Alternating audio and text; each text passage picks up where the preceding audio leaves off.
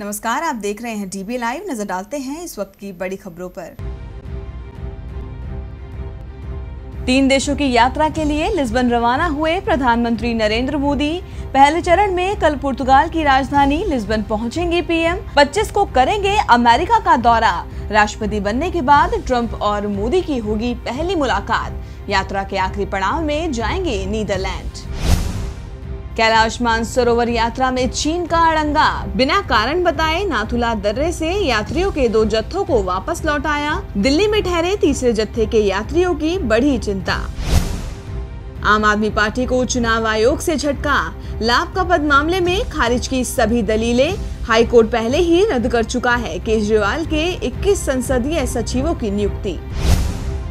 नौहट्टा में डीएसपी की हत्या मामले में प्रशासन की कार्रवाई।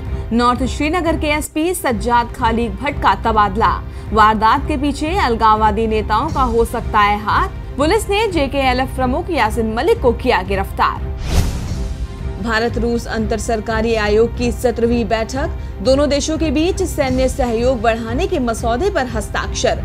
अरुण जेटली और रूसी रक्षा मंत्री की मौजूदगी में हुआ करार। 2000 करोड़ के ड्रग्स के मामले में एक्ट्रेस ममता कुलकर्णी भगोड़ा घोषित। कोर्ट के निर्देश के बाद घर के बाहर चिपकाया गया नोटिस।